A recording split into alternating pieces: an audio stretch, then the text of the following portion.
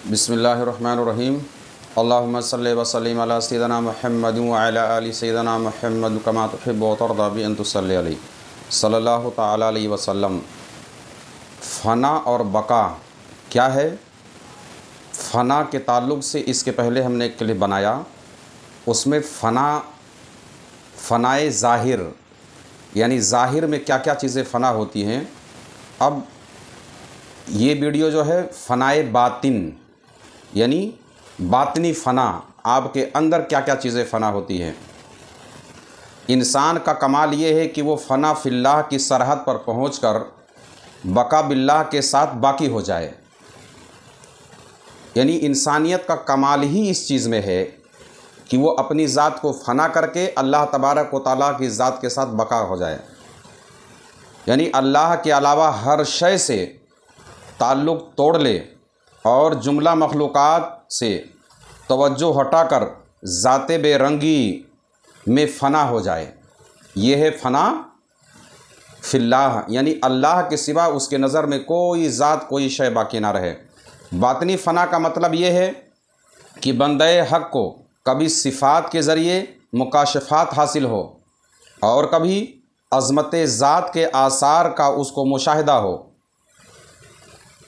और उसके बातिन पर अमर इलाही इस तरह कायम हो जाएँ, यानी उसके अंदर अल्लाह के अहकाम इस तरह कायम हो जाएँ कि कोई वसवसा और कोई तस्वुर बाकी ना रहे और फ़ना में एहसास भी फ़ना हो जाए, यानी सब कुछ अल्लाह की ज़ात में वो फ़ना कर दे, उसका एहसास भी ख़ुद को ना रह जाए।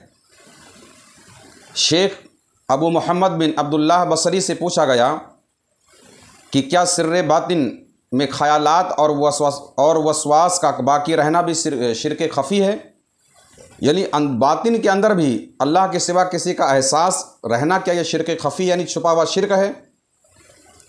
पूछने वाले हज़रत ने यह कहा कि मैं तो इसको शिरक समझता हूँ। यानी बातिन के अंदर भी किसी और चीज़ का ख्याल रहे तो उसको मैं बातनी, यानी शिरक खफ़ी छुपा हुआ शिरक समझता हूँ।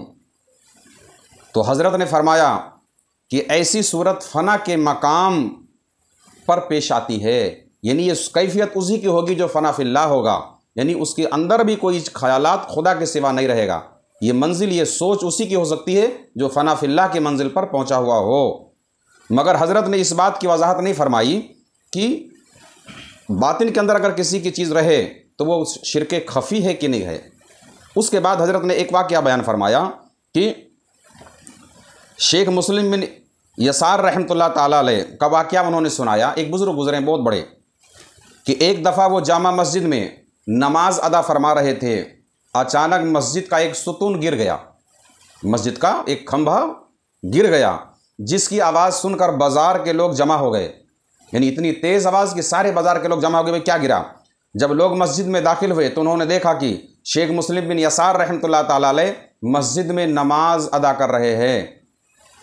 यानी सुतून गिरने का उनको एहसास भी नहीं हुआ, कुछ खबर भी नहीं हुई कि मस्जिद का सुतून गिर गया है। अब समझ ले कि ऐसी हालत इस्तराक बातनी फ़ना की होती है। यानी खुदा के सिवा कुछ याद ना रहे। यानी अल्लाह की ज़ात के सिवा दुनिया में जो कुछ क्या हो रहा है, बंदा अब अल्लाह के ज़ात में ही गर्क हो जाए, उसके सिवा कुछ याद ना रहे। ये है फ़ना की मंजिल। अहल हक का ज़र्फ़। कभी इस कदर वसी हो जाता है। अब फ़ना में भी कभी इनका ज़र्फ़ जो इतना वसी होता है कि इस पर रूहन और कलबन फ़ना का इतलाक़ होता है।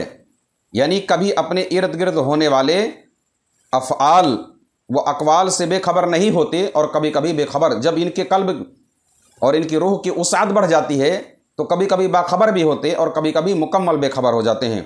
और फ़ना की एक सूरत और नवैयत ये भी है कि उनके तमाम अफ़ाल अकाल का, अकवाल का मरकज़ अल्लाह तबारक व ताली की ज़ात हो जाती है और वो अपने तमाम उमूर, यानी अपने हर काम में अल्लाह ताला के हुक्म के मुंतज़र रहते हैं, यानी जो कुछ भी वो करते हैं, अल्लाह के हुक्म पर ही करते हैं। ताकि कामों का ज़िम्मेदार वो नहीं, वो खुद ना हो, बल्कि अल्लाह ताला हो, यानी अपने इख्तियार तर्क कर देते हैं। यानी उनका खुद का अपना कोई इख्तियार नहीं चलाते। यानी जो अमर इलाही होता है, जो हुक्म इलाही होता है, वही करते हैं। यानी अपने इख्तियार का तर्क कर देना ही फ़ना है।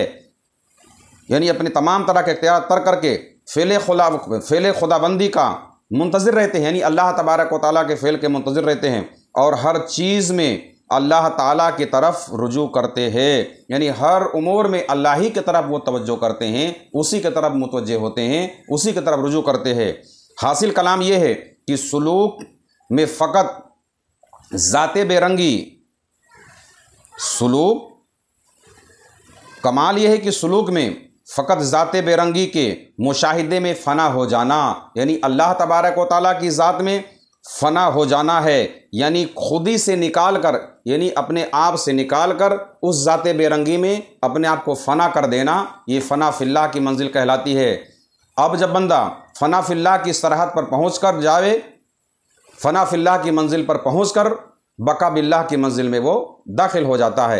यानी अपनी तमाम तरह के एहसास अपने ख़यालात, अपनी फितरत, सारी चीज़ों को बंदा अल्लाह की ज़ात में फ़ना कर देता है। इसको कहते हैं फ़नाफिल्लाह क्या कहते हैं? फ़नाफिल्ला जब बंदा अपनी सारी चीज़ों को फ़ना कर देता है, खुदा के सिवा कुछ बाकी नहीं उसके सामने रहता तो ये हो गया फ़नाफिल्लाह फ़नाफिल्लाह के बाद बंदा दहली जे बका बिल्ला पर पहुँच जाता है, यानी अब बका की मंजिल पर वो पहुँच जाता है। अब इन तबारक ताली ये फ़नाए ज़ाहिर और बातिन, यानी फ़नाफिल्लाह क्या है, ये हमने समझाया।